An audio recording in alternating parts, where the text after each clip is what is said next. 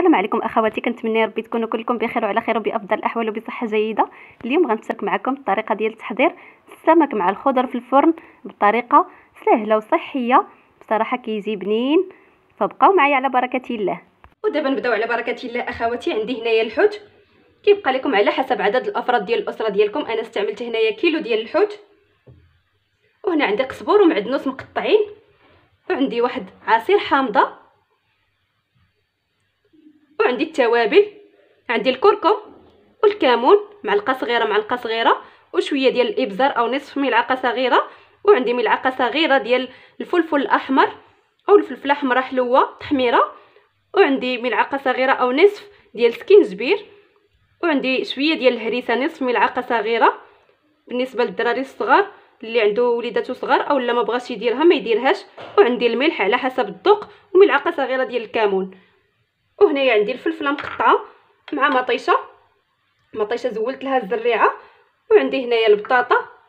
صافي غنوجدو إن شاء الله الحوت ديالنا غنشرملوه. وبالنسبة للخضر اللي بغيتو ديروا مع الحوت في الفرن استعملوا أي نوع ديال الخضر اللي كيعجبكم. المهم أنا غنستعمل غير مطيشة مع الفلفلة والبطاطا اللي قطعتها رقيقة. صافي غنبدأ على بركة الله. ناخذ عصير حامضة. نضيفو فوق الصبور ومعدنوس ونضيف التوابل اللي عندي.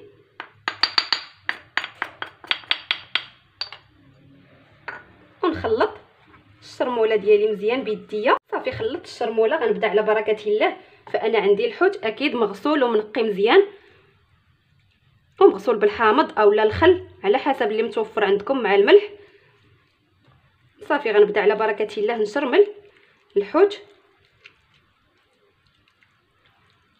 بصراحه فهو كيجي صحي في الفرن وكيجي بنين. نشرملوه مزيان. وأكيد فأنا مفلحاه جوج ديال التفليحات من كل جهة لكل سمكة. صافي نكمل بنفس الطريقة نشرمل. الحوت كله اللي عندي. وندخل الشرموله في هاد الفليحات باش كيتلدد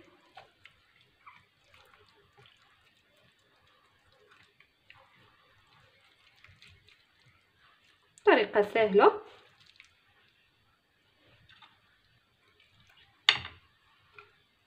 وكيجي بها السمك بنين.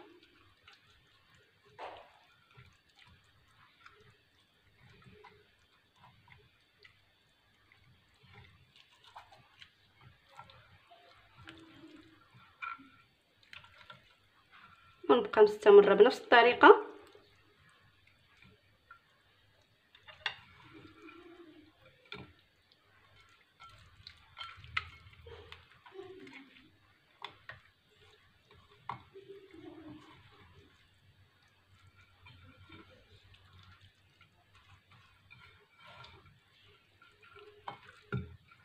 أكيد هاد الشرمولة اللي كتبقى لينا.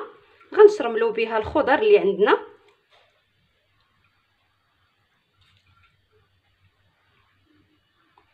وناخذ البطاطا اللي أنا نقيتها وغسلتها وقطعتها دوائر.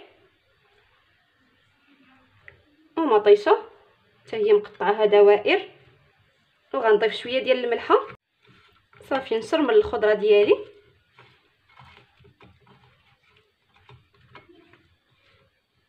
وغنزيد شوية ديال الزعتر. غنجيب شوية ديال الزعتر. ونحكو فوق الخضيرة. وهنايا غنزيد شوية ديال الملحة فوق الخضيرة أنا مشرملاها وعندي هنايا الزعتر. غنحكو بين يديا. ونرشو على الخضر. صافي. دابا غنبداو على بركة الله نجيب اللاطه ديال الفرن. اللي سبق ليا ودهنتها بالزيت. وغنبداو نستفو الخضيرة مع الحوت.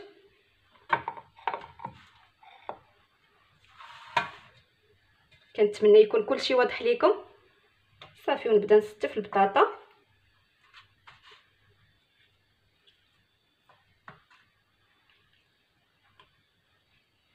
بهذا الشكل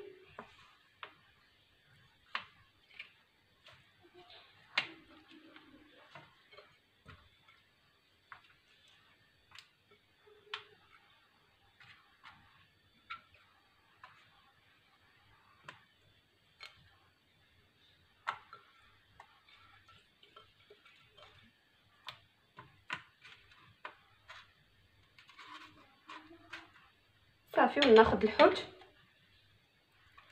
ونستفوه حتى هو.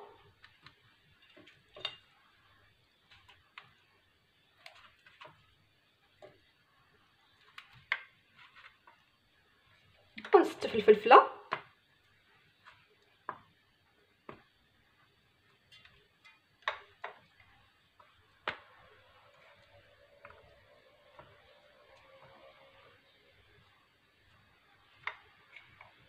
وغنستف مطيشه بطريقه سهلة.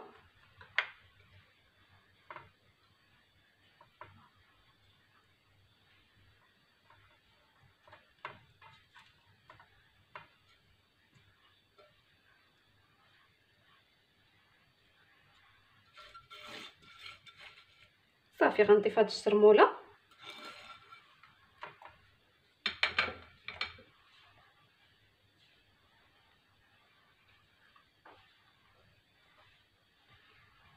صافي وناخذ الحامض.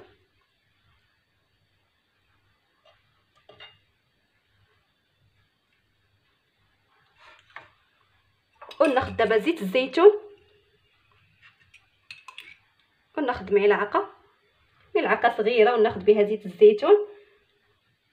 ونبدا نخويها فوق الخضيرة بهذا الشكل على شكل خطوط.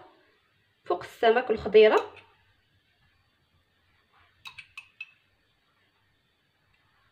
صافي.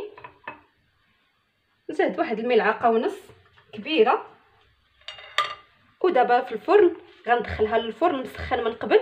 كنكونوا مسخنين الفرن ديالنا مزيان وأكيد ممكن لكم تغطيو بورق الطبخ مع ورق الالومنيوم تغطيو به اللاطه ديالكم باش طيب لكم الخضيرة مع الحوت دغيا. صافي حتى كيطيبوا وكتعريو عليهم وكتخليو الحوت ديالكم يتحمر. صافي وتخرجوه. وهذا هو الشكل النهائي أخواتي بعد ما طاب الحوت مع الخضرة في الفرن. بصراحة كيجيو كيشهيو كيف ما كتشوفوا معايا فالسمك ديالنا كيجي طايب ومحمر وبنين وريحته كتشهي. هذا هو الشكل النهائي ديالو تجربوه بالصحة والراحة. فهو صحي وبنين. وأخواتي كنقول لكم ما تنساوش تبارطاجيو لا فيديو وتضغطوا لايك وتشتركوا في القناة فضلا وليس امرا باش تدعموني. وشكرا لكم أخواتي هذا هو الشكل النهائي. ودابا كنقول لكم تهلاو في ريوسكم إلى فيديو قادم إن شاء الله.